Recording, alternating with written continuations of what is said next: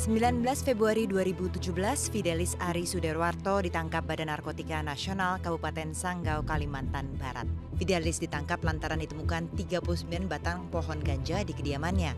Ganja yang ia tanam adalah untuk pengobatan istrinya Yeni Riawati yang mengidap penyakit siromelia atau adanya kista di sumsum tulang belakang sejak 2013.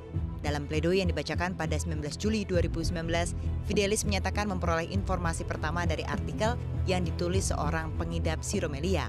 Dalam artikel tersebut, penulis mengaku bisa kembali hidup normal setelah dua tahun mengkonsumsi ekstrak ganja. Ternyata karena ekstrak ganja, kondisi kesehatan Yeni membaik. Namun sebelum sembuh total, Fidelis keburu ditahan. 32 hari setelahnya, Yeni meninggal dunia. Fidelis difonis 8 bulan penjara dan denda 1 miliar rupiah subsidi 1 bulan penjara. Selain Fidelis juga ada kasus terbaru di Banyumas ada kakak beradik yang juga ditahan karena menanam uh, marijuana di halaman belakangnya untuk kebutuhan kesehatan ibunya yang menderita diabetes. Olive, kalau menurut kamu sendiri ini apakah kita harus mentingin nyawa manusia atau menegakkan undang-undang di sini? Nah, pertanyaan saya apakah kasus Fidelis ini uh, istrinya itu meninggal karena stop untuk mengkonsumsi marijuana yang ditanam oleh Fidelis atau dia depresi karena melihat suaminya tertangkap gitu. Nah kalau saya memang uh, mengenai kemanusiaan dan pengambil kebijakan itu memang selalu sering bertentangan even di buku Soekarno aja yang saya baca bahkan beliau itu tidak tidak sebenarnya hatinya nggak mau tuh menetapkan hukuman mati kepada pengguna narkoba. Tetapi dalam kasus tertentu sebagai pengambil kebijakan atau pemimpin negara mereka dia harus menetapkan hukuman mati. Itu memang selalu menjadi dilema kalau saya lihat. Cuman kalau kita melihat narkoba ini kan kita aja dunia ini tidak mungkin memberantas narkoba. Apalagi menambah-nambahkan misalnya ya, menambah-nambahkan mungkin case-nya BNN nanti nih kalau marijuana jadi legal. Nah cuman saya lihat kan yang kita lakukan ini kan kita bersama-sama untuk menekan pertumbuhan narkoba ke titik yang paling rendah gitu. Itu yang sedang kita lakukan. Nah kalau marijuana ini dilegalkan, kenapa enggak maksudnya herbal-herbal lain ini di Indonesia kan banyak. Misalnya kita lihat di Indonesia itu sebenarnya penyakit yang terjadi di tempat itu pasti ada obatnya tumbuhan di sekitarnya itu dalilnya tuh. Mm-hmm. Nah cuman apakah yang lain itu diteliti atau tidak gitu kan. Kenapa? Kan udah ada morfin nih yang bisa membantu menenangkan kalau kita mau operasi berat ya untuk apa membantu anestesi dan sebagainya. Ya udah itu aja gitu. Udah ada alternatifnya udah ada alternatif gitu. Kenapa harus ini? Kan juga oke okay. gimana? Ah, menarik sekali tadi Mbak Olivia bilang kalau kalau misalnya ada satu penyakit di satu daerah pasti di sekitar itu ada tumbuh-tumbuhan yang bisa menjadi obat. Saya sepakat sekali. Dalam kebudayaan Jawa itu dikenal istilah suket godong dadi rewang. Hmm. Atau rumput dan daun itu bisa menjadi rewang, menjadi hmm. teman yang membantu. Hmm. Kaitannya dengan marijuana? Di Aceh dan di banyak tempat di Indonesia, itu adalah tanaman yang sejak dulu sebenarnya ada di sini. Artinya itu menjadi bagian dari kekayaan etnobotani kita. Nah kenapa kita tidak memanfaatkan tanaman yang memang sudah ada ternyata catatannya dalam lembaran sejarah kita, kita manfaatkan sekarang. Dokter Feni? Jadi uh, untuk mengembangkan kearifan lokal ini menjadi suatu potensi menjadi obat, kita kembali lagi ada yang namanya etnomedicine, pengobatan yang berawal dari budaya setempat. Ya. Jadi uh, saya berpandangan bahwa kita tidak boleh menutup mata bahwa yang ini benar-benar nggak boleh diteliti, nggak boleh dikembangkan karena dia punya efek samping yang tadi ketergantungan katanya. Karena ketika dilihat dari literatur, kita dari tadi sibuk Bang John bilang gak ada ketergantungan, sementara ya. dari dokter bilang ada, ada kenyataannya pasien yang ketergantungan. Di literatur menyebutkan bahwa di dalam ganja, di marijuana sendiri ada banyak sekali kandungan cannabinoidsnya.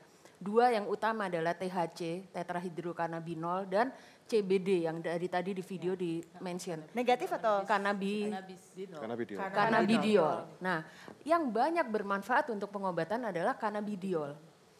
Tapi ketika kita bilang term marijuana, maka itu yang muncul adalah yang kandungan THC-nya yang banyak. Di mana THC menjadi tersangka penyebab munculnya efek euforia, efek adiktif. Kalau yang dipakai CBD-nya tidak adiktif. Berarti sebenarnya memang benar bisa digunakan dong kalau gitu, Prof. Kalau kita bisa uh -huh. mengambil yang uh, amannya, ya, bukan memunculkan yang itu. Iya. Uh -huh. Ya, saya kira bisa. di dalam pengobatan berbagai penyakit kita selalu punya obat X yang kita anggap terbaik. Tapi belum tentu dia akan baik terus. Sa sampai semorfin pun ya memang dibilang ini bagus. Selalu ada kita mencari yang lebih baik. Misalnya, kita punya morfin sekarang kan seperti kata Ibu. Tapi morfin itu punya kejelekan. Putus obat. Setelah diberikan sekian lama dihentikan orangnya masuk ke dalam gejala withdrawal. Kita harus mentitrasi dosis. Kemudian margin of safety-nya, batas keamanannya sempit. Kemudian juga bisa terjadi depresi nafas dan konstipasi.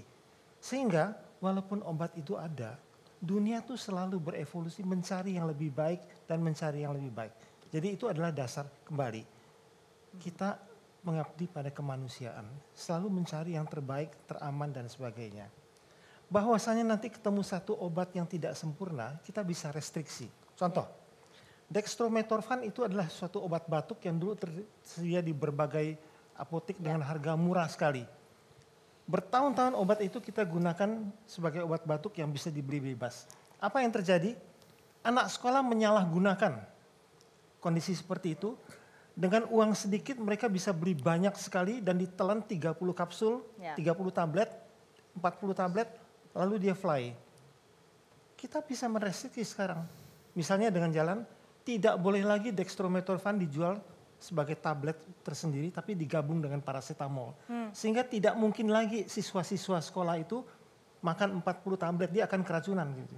Hmm. Jadi obat yang memang sudah legal pun juga akhirnya bisa memakan korban jiwa Jadi gitu. uh, uh. kita bisa melakukan upaya restriksi ya. demikian untuk tetap melindungi masyarakat tapi saya sangat respect terhadap ibu-ibu yang yang menyatakan bahwa hati-hati hati-hati karena obat ini potensial bisa berbahaya. Yeah. It's very good. Betul, oke. Okay. Tapi tapi betul kan kalau dilihat ini emang ini terlihat hati-hati tapi emang ada keengganan atau enggak? Ini karena kalau CBD-nya kalau diolah sebenarnya bisa jadi dampak yang positif begitu. Ya. Uh, dalam hal ini sebenarnya pemerintah tidak enggan gitu ya karena di dalam undang-undang disebut juga eh, kalau untuk kepentingan eh, pengembangan ilmu pengetahuan itu kan kita memang harus. Tapi enggak, uh, tapi kalau kalau enggak enggan, tapi kenapa? Tidak enggan. Uh, buktinya tapi, kami saat ini memang dalam taraf diskusi ya uh, dengan salah satu perusahaan BUMN gitu. Uh, hmm. uh, maksudnya masih dalam taraf diskusi untuk meneliti untuk pengembangan ilmu pengetahuan itu taraf diskusi. Kalau memang kita sudah enggan, pasti kita akan tolak dong gitu ya BUMN itu datang ke Kementerian Kesehatan. Jadi nggak kalau gitu. nggak setuju kalau dibilang ini nggak open minded gitu dikatakan ya, di sini. Iya gitu. Maksudnya kita masih membuka gitu ya untuk diskusi untuk pengembangan ilmu pengetahuan. Lima tahun belakangan ini juga sekarang lagi marak di Indonesia. Di Indonesia ya Bu ya, bukan di luar. Di Indonesia mengembangkan rokok obat malah sekarang. Pertanyaannya kenapa ganja nggak seperti tembakau juga sekarang yang bisa juga bisa dikembangkan menjadi obat seperti itu. Ya. Uh, kami tahu kan kalau ganja itu memang menimbulkan adiksi dan kemudian juga empat kali lebih kuat daripada nikotin, jadi sangat Parah. berbahaya. Ya, uh, kembali tadi ya bahwa setiap zat itu pasti ada manfaat dan mudarat. Tergantung dari siapa yang melihat, dari sisi mana mereka melihat. Kalau sisi pengguna, buat saya yang pengalaman menghadapi klien-klien seperti Dr. Elvina, yang namanya semua narkoba itu bermanfaat buat mereka. Tapi kami, karena kami ini belajar, kami belajar tahu, oh ini adalah narkoba ini penyakitnya di situ adalah brain disease. Penyakit otak yang mempengaruhi ini, ini, ini. Jadi kami melihat sisi yang berbeda.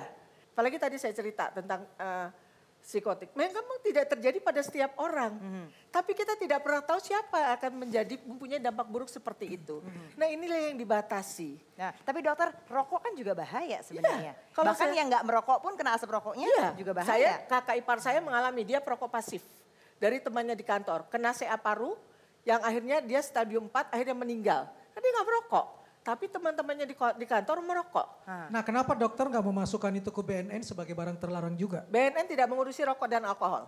Ya mengurusi Kementerian Betul. Kesehatan. Untuk perkembangan berikutnya karena itu juga membunuh seperti halnya narkoba, kenapa nggak dilangsungkan juga? Bisa bicara, zamannya dulu menterinya Ibu Naf, beliau berjuang habis-habisan untuk bagaimana rokok, rokok itu, nikotin itu tidak tidak lagi bisa digunakan, bisa dibeli dengan mudah. Digagalkan oleh industri? Seperti saya nggak tahu persis, saya tidak tidak mengikuti waktu zamannya uh, saya di situ akhirnya seperti apa. Tapi uh, berapa negara sudah banyak yang menandatangani ratifikasi tentang okay. pembatasan nikotin itu. Jadi hmm. sebenarnya kita Baik. sendirilah kembali pada kita hmm. sendiri melihatnya dari aspek mana. Oke. Okay. Singkat, Dira. Singkat.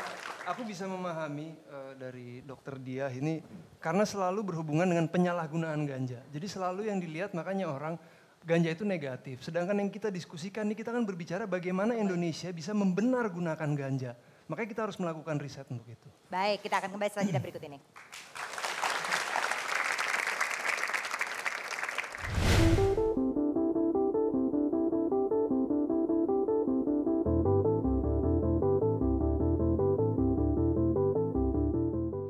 Banyak orang mengatakan bahwa ganja ini adalah bagus untuk ini, bagus untuk itu.